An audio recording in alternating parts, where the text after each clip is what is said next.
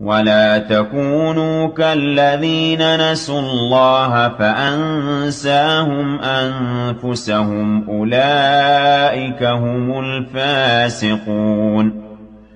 لَا يَسْتَوِي أَصْحَابُ النَّارِ وَأَصْحَابُ الْجَنَّةِ ۚ أَصْحَابُ الْجَنَّةِ هُمُ الْفَائِزُونَ